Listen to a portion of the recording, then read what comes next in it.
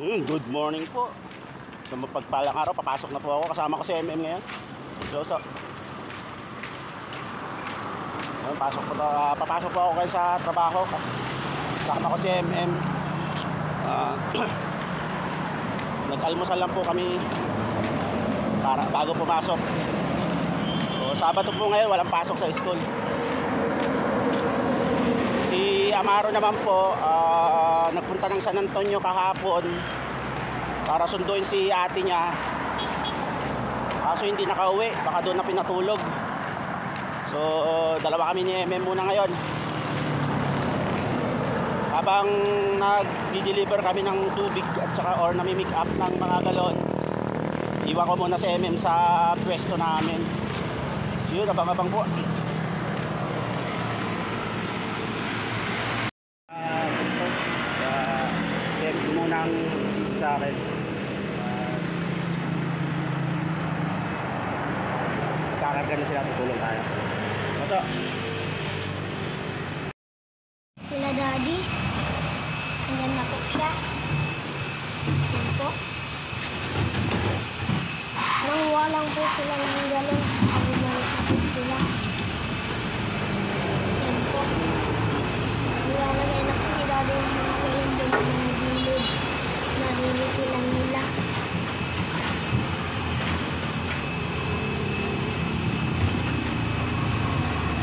Yan po.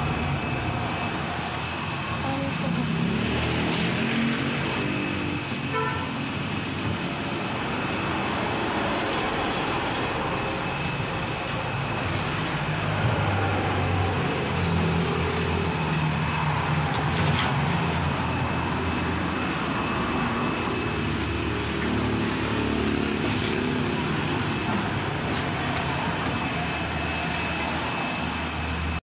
Yung break time po, kakain kami ng MM. Kakain kami jeep. Isip ko mag-video. Katapos na po kaming kumain. Si MM na lang po ang kumakain. Gutom na, sa sobrang gutom nakalimutan na mag-video. So dito po kami ngayon sa ano, Sanma. Nag-request si MM na gusto niya daw mag-ulam ng nenokso. Ano? Kambing. So, so dito kami may kambing dito in-order niya po papaitan at saka kilawin. So yan po siya.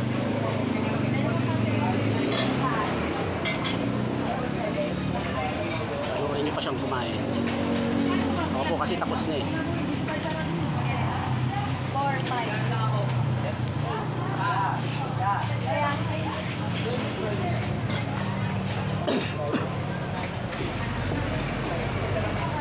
ilawin po at saka mapaitan yung in-order namin.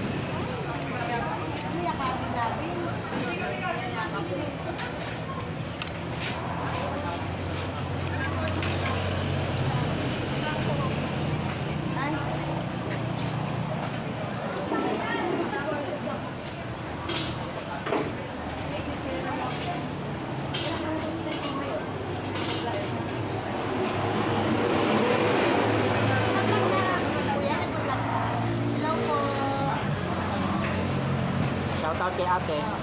Ito po sila sa ano, George Food Hut.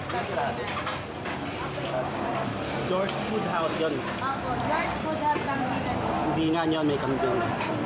Nag-crave si MM ng ano eh. Yun daw kambing. So, umorder kami papaitan tsaka kilawin. Masarap po, masarap. Bago po magbayan ng San Marcelino. Ano ang pangalan naman?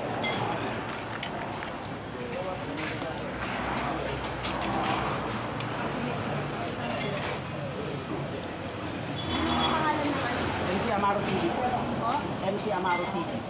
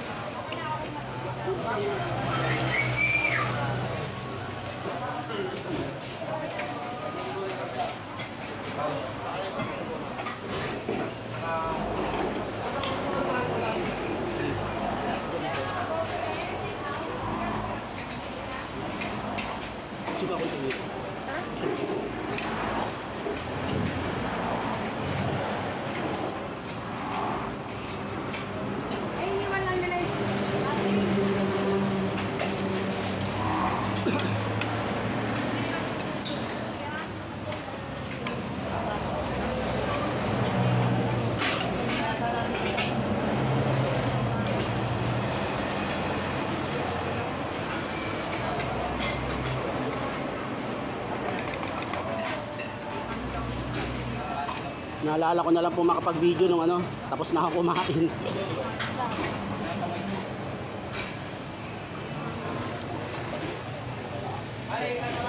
Si Emin po eh, patapos pa lang.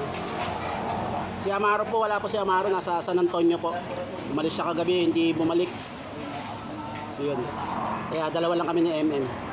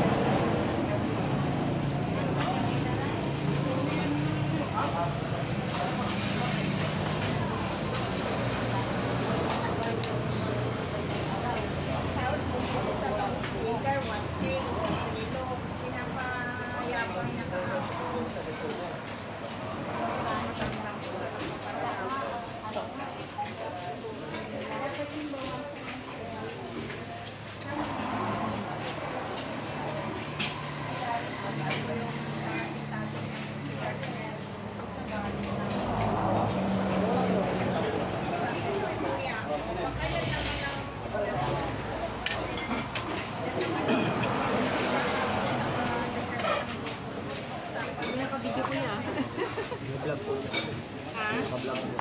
Ah. Kano pa?